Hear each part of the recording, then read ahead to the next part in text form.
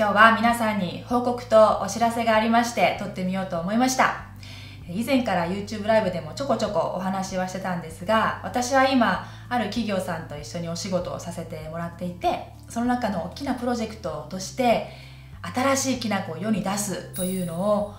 目指して商品開発を始めています。なのでね、今見てくださってるきなこ好きの方々にもゆくゆく食べていただけるようなものを作り始めました、ね、なのでこの初期の段階からこうお見せしていくのは良いことかなと思って今日はお話ししていこうと思います、ね、どうなるかわからない感じとかワクワク感もあり不安感もあるんですけどそれも全部ねあの本当に現実に起こってることなので、ね、お見せするのは良いと思ってえー、お話ししてみようと思いますので、ちょっとお付き合いください。どこの企業と今一緒に作ってるのかというと、以前動画でもご紹介した京都の会社さん、美濃代さんという会社さんと今一緒に作ってます。で少しおさらいをすると、美濃代さんっていうのは代々続くお菓子の材料屋さんなんですね。で特に和菓子に使われるような材料を取り扱ってるんですけど小豆だったりとかあとお米の粉たくさん種類がありますし栗の甘露煮とかでそういうものを、えー、和菓子屋さんお菓子屋さんに販売するっていうのがもともとの彼らのビジネスなわけなんですね。でその中にきな粉ってあるんですよ。あるんだけどもともとねどこかで作ってもらったものを自分たちで仕入れてそれをお菓子屋さんに販売するっていう流れが今までずっとあったわけなんですね。でもこのね社長さんがね面白い方でね自分の代でもっとビジネスを強くしたいしね生き残っていきたいしって言った時に大豆ね、きな粉に注目したわけなんですけど大豆は安定的な供給ができてるものだしそして安定的な需要もあるしそして海外からの需要っていうのも強いと。今から力入れようきな粉に。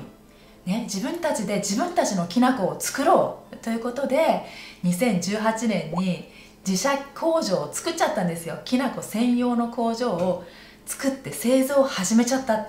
なかなかないですよね。材料だけね仕入れて売ってればよかったのに自分たちで製造も始めちゃった。しかもきな粉のっていうことで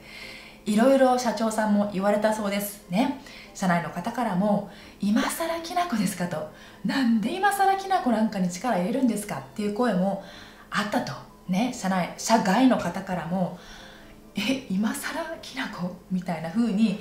言われてもいたと社長さんおっしゃってました。だけど彼は信じてる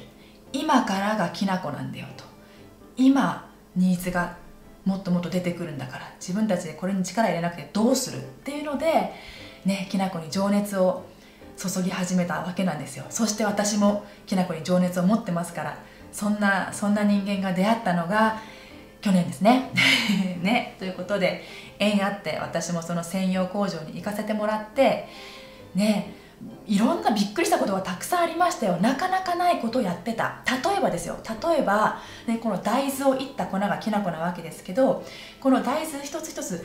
薄皮がついてるんですよね。これが、ね、口どけの邪魔になるってことでわざわざその皮を取るプロセスっていうのが工場の中に入ってるんですよね。であんまり見ないプロセスなんですよ。だとかあとはその粉砕機。ね、このいった大豆を粉にする機械っていうのも大体他のメーカーさん1つの機械を使ってたりするんですけどわざわざ2つの粉砕機を使ってね2回通すことでより細かくより滑らかな粉にねもう溶けるっていう感じの口どけにするっていうこだわりっぷり。すごかったですよ。ぜひぜひ動画見てほしいんですけど。ね食べてみたいじゃないですか。どんな口どけなの？食べたいですよね。でもね今売ってないんですよ、うん、で、まあ、正確には小売りしてない、ね、お菓子屋さんにしか今販売してないので一消費者は食べられないわけなんですよね。で EC もやってるんですけどネット販売もしてるんですけどちょっと小袋で販売してたりとかパッケージがねあのちゃんとしたものがなかったりとかするのでその小売りしてないわけなんですよね。なので小売りのきな粉を作ってみたいし一消費者にも届けてみたい。この口どけをぜひ味わってほしいっていう思いがあって手伝ってほしいということで今一緒にやってるわけです。そして 長くなりましたけども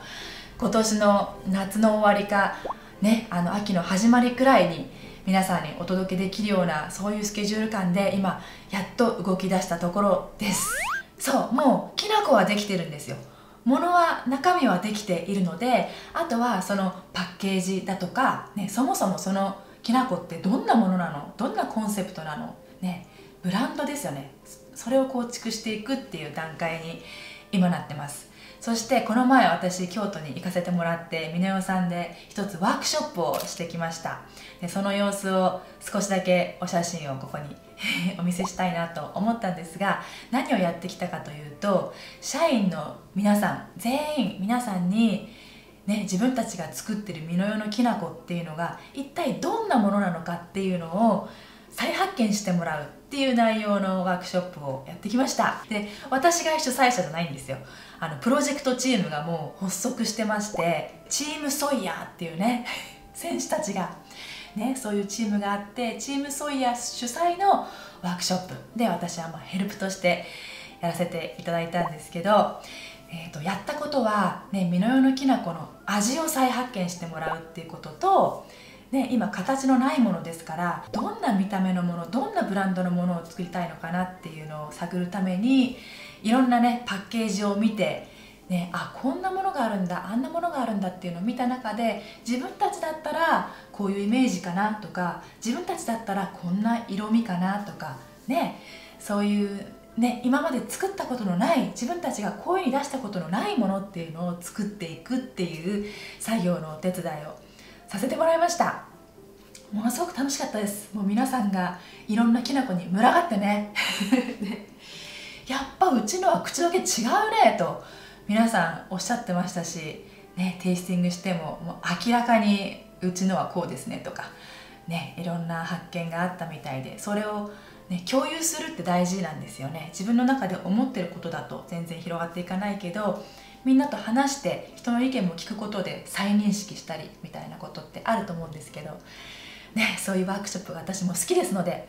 お手伝いをさせてもらいました。そうなので今の今は答えがないしこれが目の用のきな粉ですっていうこう形ってないんですよ。ね。それをみんなで作っていくっていうプロセスを始めたっていうワークショップだったんですけど私はこれすごくいいなと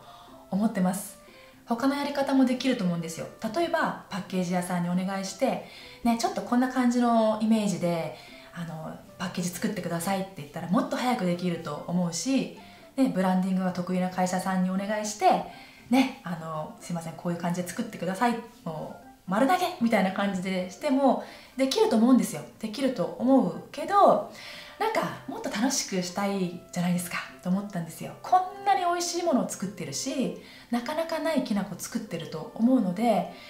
ねみんな巻き込んでやろうよって思ったんですよね。はいこんな感じで開発始まってます。ねこれからコンセプトを作ったりね、本格的にパッケージのデザインを考えたりっていう段階になると思います。そしてこのきな粉の販売は秋口を目指してます。ね楽しみにしててください。そして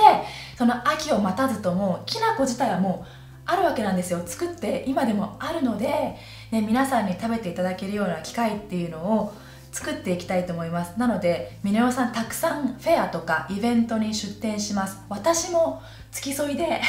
出ますのでこの格好でね出ますのでぜひタイミングがあれば皆さんにもお会いしたいなと思うんですけど第1弾として4月もうすぐですよ。4月の16日日曜日に、えーと、東京でありますヴィーガングルメ祭りに皆代さん出店します。どこであるかというと東京臨海広域防災公園であります。漢字ばっかりね有明の方だと思うんですけどね。出ますのでで5月3日の名古屋も出ますしたくさんこれからイベントあるのでちょっとまたお知らせしていきたいと思います。